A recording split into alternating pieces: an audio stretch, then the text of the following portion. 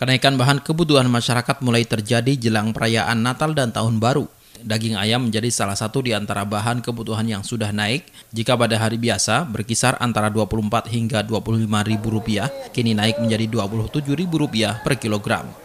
Kenaikan ini dimaklumi oleh para pedagang karena jelang perayaan hari besar keagamaan termasuk Natal, kenaikan memang biasa terjadi. Kenaikan harga ini diprediksi akan bertahan hingga perayaan pergantian tahun nanti. Harga sendiri naik, ada kenaikan.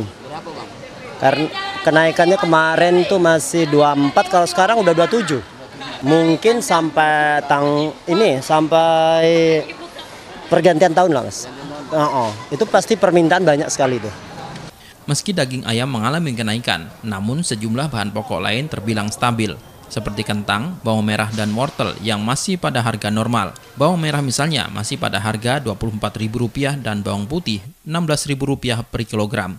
Kentang Rp16.000 per kilogram, wortel Rp16.000 hingga Rp18.000 per kilogram. Pedagang memperkirakan ada kemungkinan menjelang perayaan Natal nanti atau perayaan Tahun Baru akan ada kenaikan meski belum bisa dipastikan. Samsul Hardi, Kompas TV, Pontianak.